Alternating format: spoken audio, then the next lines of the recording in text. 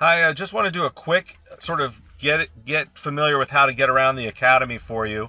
Um, first off, you're on your home page, and you should be able to see your startup boxes here. Um, this fall orientation is where all of our activities will be.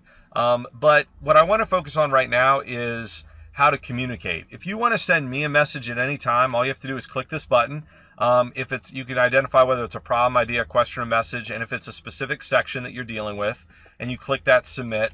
Um, if at, during the during the um, when you're exploring, if you want to give a rating for a specific section of the academy, you can do that here. Um, just identify the section and then tell me whether you uh, like the vision, whether you like the current functionality of it, or whether you, the ease and feel is good.